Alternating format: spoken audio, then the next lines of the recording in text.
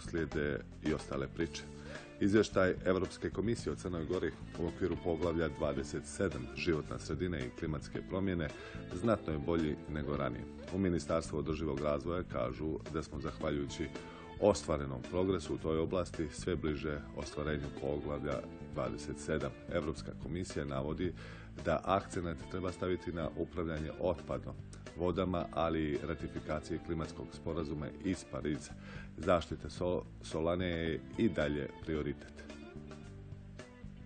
Izvještaj Evropske komisije koji se odnosi na zaštitu životne sredine i klimatske promjene najpozitivniji je koji je naša zemlja dobila do sada.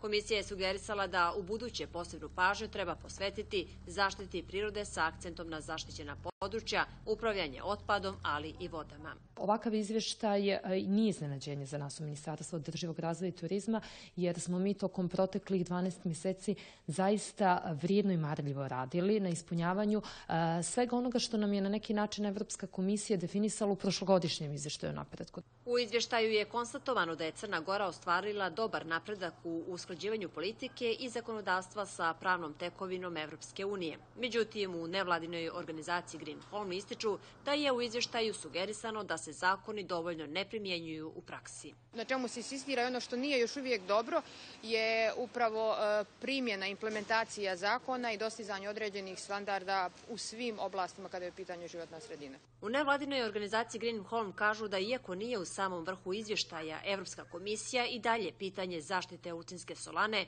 tretira kao prioritetno.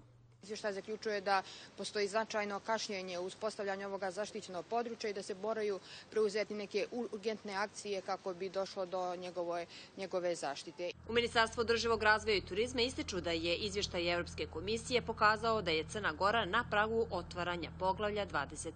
I sama činjenica da e, smo u očima Evropske komisije viđeni kao država koja je u odnosu na ostale države kandidate ili potencijalne kandidate najbolje ocijenjena u poglavlju 27 nam dovoljno daje za pravo da smatramo da će vrlo brzo poglavlje biti otvoreno. Fokus Ministarstva održivog razvoja i turizma biće primjena nacionalnih strategija za poglavlje 27 i upravljanje otpadom, ali i ratifikacija klimatskog sporazuma iz Pariza.